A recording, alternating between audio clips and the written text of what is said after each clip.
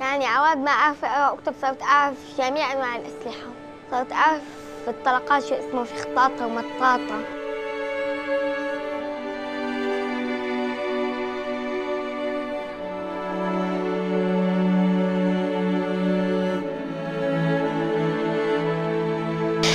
Se convirtió el pasado 13 de noviembre en un escenario de terror y tristeza. Al menos 129 personas murieron y unas 352 resultaron heridas. Esta es la segunda mayor masacre en Europa, solo superada por el 11 de marzo en Madrid. Pero, pero, pero, ¿por qué debo preocuparme de esto si soy una niña? Según un estudio, de cada 100 muertos tras un ataque en Siria, 27 son niños. A todo ello se suma el hecho de que en niños llevan casi 5 años. Lo mismo que dura ya la guerra siria. Sin recibir ningún tipo de educación porque un cuarto de los colegios ha sido destruido o dañados. Pero, pero, pero, ¿por qué tengo que preocuparme de esto si soy solo un niño? Yo aún no sé de política. Yo aún no sé de economía. Yo no tengo idea de las relaciones internacionales. Pero sí sé que mueren niños todos los días por culpa de los adultos y sus guerras. ¿Por qué un niño tiene que conocer un arma antes que un libro? ¿Por qué los niños van a la guerra? ¿Para qué es la guerra? ¡No más guerra! ¡No más guerras! ¡No más guerra! ¡No más guerra! ¡No más guerras! ¡No más guerra! ¡No más guerras!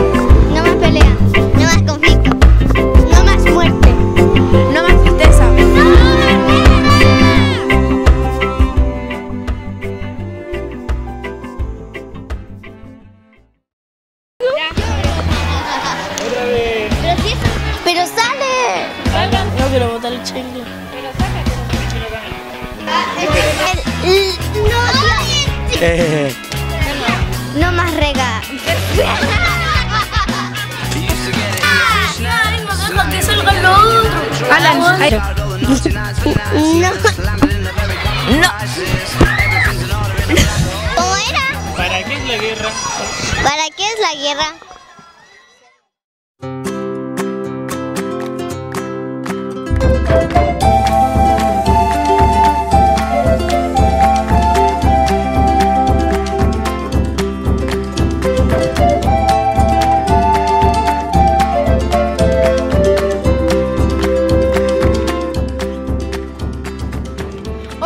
Encontramos con la directora y hoy día nos va a contar de qué se trata esta celebración de los 95 años en la Escuela Santa Fe y además nos dará un mensaje. Hoy día la escuela está de cumpleaños. Ha cumplido 95 años de trayectoria, donde se han criado eh, varias generaciones. Hoy día tenemos abuelitos que fueron parte de nuestra escuela y hoy día ellos llegaron aquí siendo niños y hoy día ya han pasado ellos, sus hijos, ahora sus nietos y en algunos casos sus bisnietos. El sol todavía resplandece, así que tenemos que seguir brillando, ser los mejores y, poder tocar con nuestros alumnos el cielo. Muchas gracias.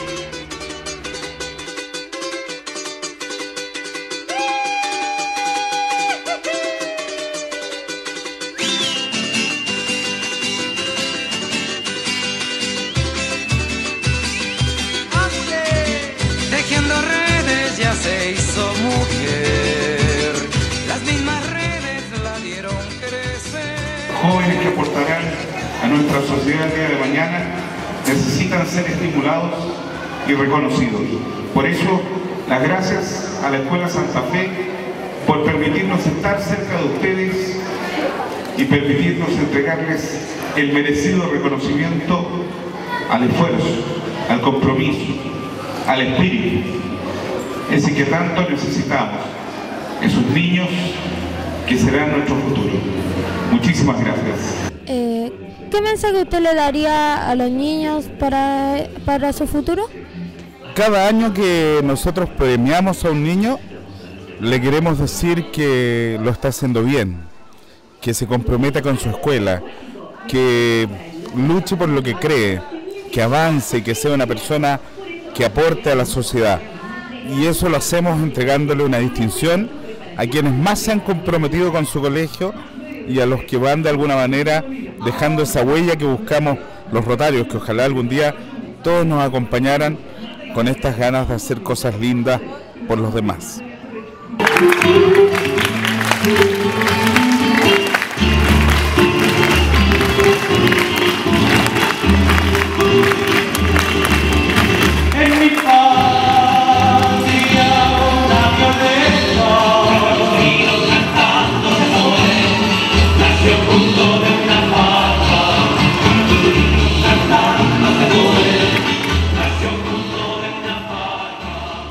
¿Por qué premian a los apoderados en esta celebración? Es tradición en todos los colegios y aquí también eh, celebrar a las mejores mamás. Se eligen por cada curso elige a su mejor mamá y entonces ya era el momento de entregar la premiación porque viene el rotario. Y también estamos celebrando el aniversario de nuestra escuela que cumple 95 años, que no es menor.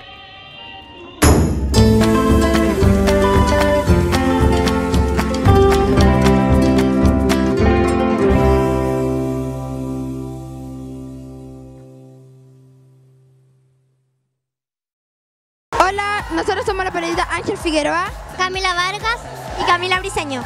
y hoy los trasladamos al bañero municipal a mostrarle una entretenida clase de piscina. Como cada martes, durante el tercer bloque de clases, los estudiantes del sexto A nos trasladamos a la piscina temperada del balneario municipal de Puente Alto para disfrutar de unas entretenidas clases de natación. Hola Nico, ¿cómo lo pasa cada vez que vienen a la piscina? Bien, lo paso bien, me entretengo con mis compañeros y yo creo que esto hace bien para aprender más a nadar. Hola Alex, ¿cómo lo pasas cada vez que vienes a la piscina? Bien, porque nos enseñan a nadar y eh, cada clase un avance más en natación y aparte también que nos enseñan a nadar súper bien, a aguantar la respiración bajo el agua, nadar más tiempo y hartas cosas.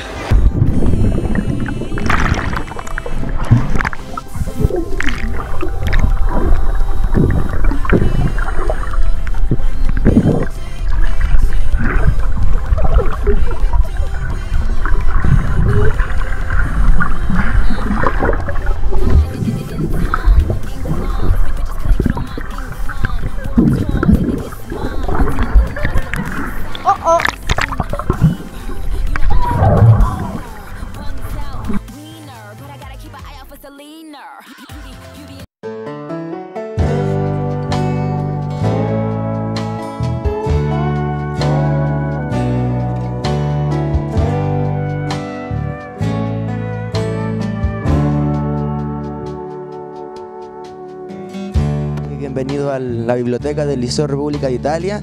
Eh, sabemos que él es un periodista de alto prestigio, ha trabajado en muchos canales de televisión conocidos, como también en radio, fue, eh, ¿no cierto?, director del diario La Tercera. Y, ¿no es cierto?, destacamos también la presencia de él a, nuestro liceo, como somos eh, un taller de periodismo que estamos recién comenzando, es bueno poder tener la opinión y tener la presencia de alguien eh, que se maneja, ¿no es cierto?, en el asunto. Y bueno, acá los alumnos van a comenzar a hacerle una serie de preguntas. El periodista quiere saber por qué pasan las cosas que pasan. No resiste no saber.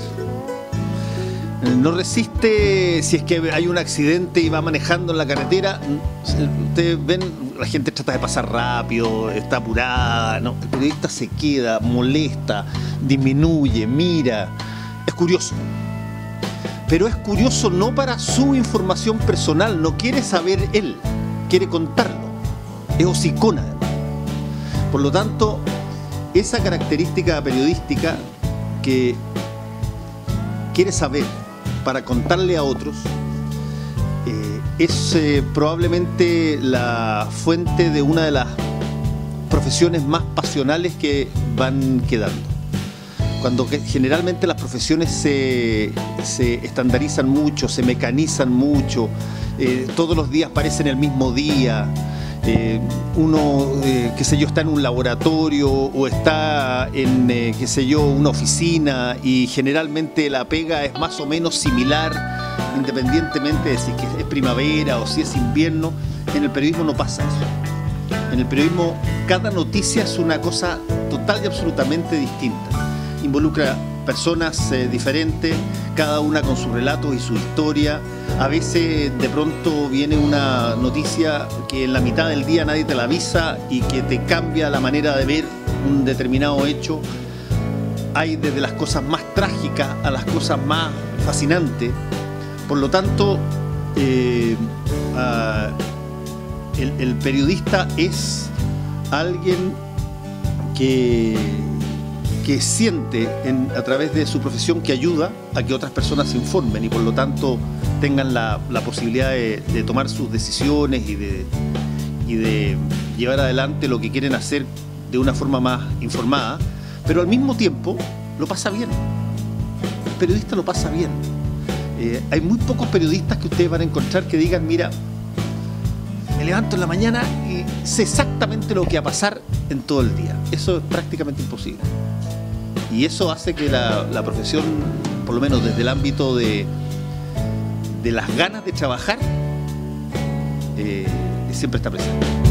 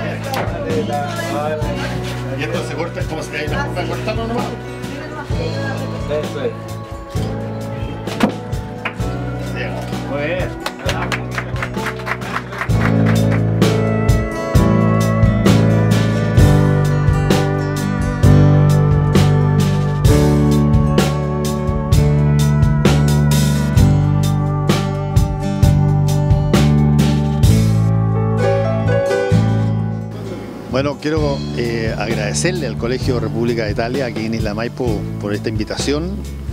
Fue mucho más enriquecedora de lo que me imaginé. Eh, espero encontrarme antes de que me jubile con varios de estos cabros como colega y también espero que los sueños de ellos a través de lo que puedan hacer eh, por el breve paso en el colegio eh, se encaminen a consolidar eh, sus vidas como, como personas de bien y como personas que estén al, al servicio público, sea en el periodismo o sea en cualquier otra cosa.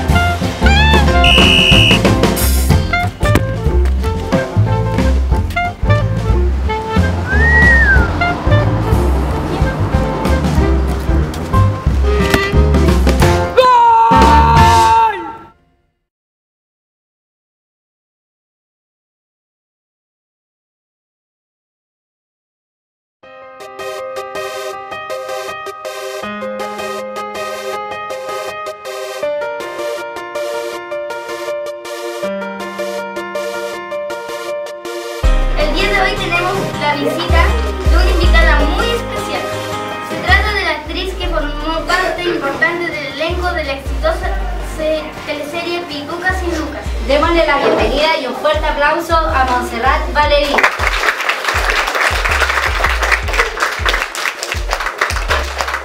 ¿Qué extrañas de tu ciudad?